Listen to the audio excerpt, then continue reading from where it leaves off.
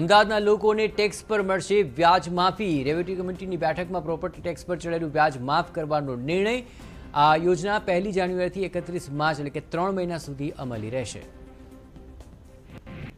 Paper leak કાંડ બાદ ઉપવાસ પર બેઠેલા આપ નેતા મહેશ સવાણીની લથડી તબિયત સુગર લેવલ ઘટ્યું છે. તબીબોએ મહેશ સવાણીની હોસ્પિટલમાં દાખલ થવાની આપી સલાહ. સુરતમાં મહાનગરપાલિકાની સામાન્ય સભા મળે તે પહેલા જ વિપક્ષનો વિરોધ. આ પાર્ટીના કાર્યકર્તાઓ પેપર લીક કૌભાંડને લઈને અનોખો વિરોધ પ્રદર્શન કર્યો. રામધૂન બોલાવી ચાલતા ચાલતા કોર્પોરેટર પાલિકા કચેરી બહાર પહોંચ્યા. હેડ ક્લાર્ક પેપર લીક કેસમાં સાબરકાંઠા પોલીસે પ્રાંતિજ અને ઈડર તાલુકાના વધુ પાંચ આરોપીની કરી ધરપકડ. મુખ્ય આરોપી જયેશ પટેલનો ભાઈ સંજય પટેલ ધાનેરાથી ઝડપાયો. મિત્ર પેપર લીક કેસમાં બાર આરોપીના રિમાન્ડ પ્રાંતિજ કોર્ટે નામંજૂર કર્યા.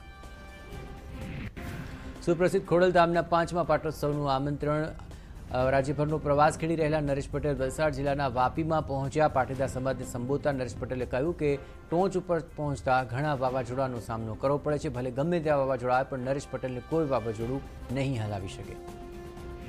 ઠાકોર સમાજની આગેવાનીમાં છેલ્લા થોડા વર્ષોથી પડ્યા ફાંટા. આ વાત સ્વીકારે છે ખુદ રાષ્ટ્રીય ક્ષેત્રીય ઠાકોર સેનાના રામજી ઠાકોરે કહ્યું કે અલ્પેશ ઠાકોરની પદયાત્રા માટે તેમને કોઈ જ પ્રકારનું આમંત્રણ નહોતું મળ્યું.